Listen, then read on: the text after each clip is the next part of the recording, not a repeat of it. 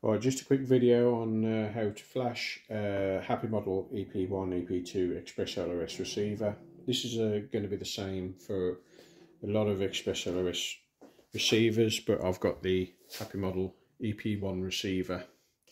Uh, what happened was, my built-in uh, Express LRS receiver went pop on this one, on the happy, uh, on the Crazy Bee board, and there's no LQ and I've lost my bind. I tried putting the binding phrase, didn't work.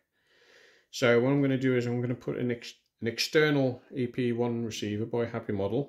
And what you can see I've done here, because I don't want to connect it to the quadcopter, to the 5 volt regulator, wait 30 seconds to a minute and the VTX fries, because they go really hot really quickly on these.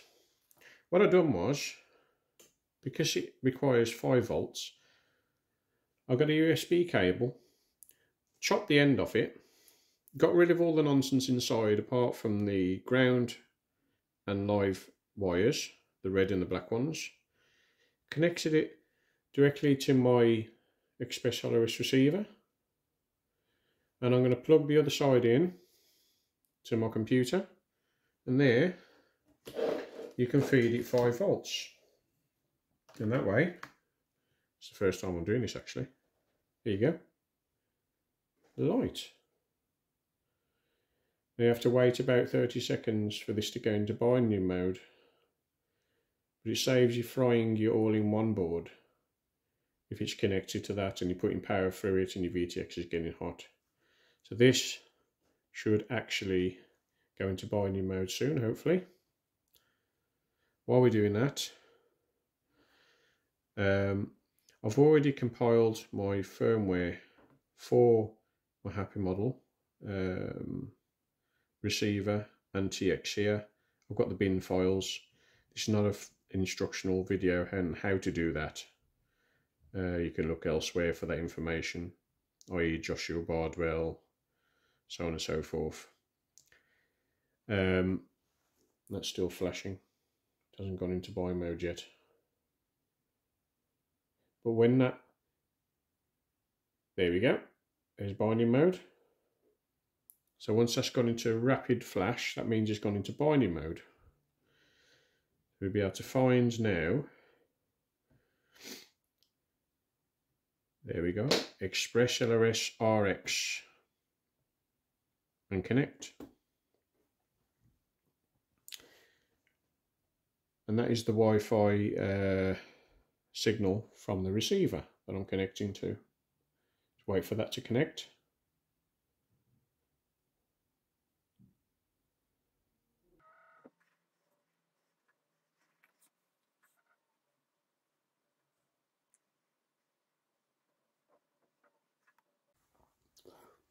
Right, this is precisely why I didn't want it attached to my flight controller because it just took me about five minutes to get this receiver connected via Wi-Fi. It's finally come up. I tried two different browsers. Uh, Microsoft Silverlight, I believe, didn't work. I tried it on Google Chrome a few times and it's just appeared now. So this is a flashing page.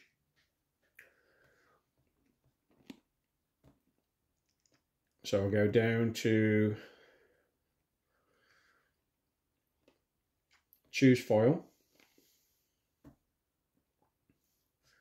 I select my bin file for RX, which is receiver, not the TX one, that's your module, RX bin file, and update.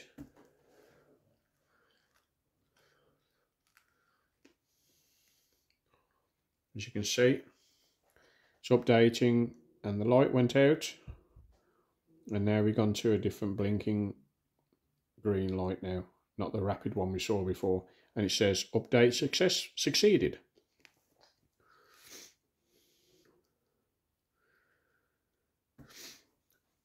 Please tell me in the comments if linking my receiver to a USB cable was a bad idea. Whether I'm going to blow it doing this, but it don't appear to be blown up. Appears to have flashed successfully. Thank you for watching. Bye-bye.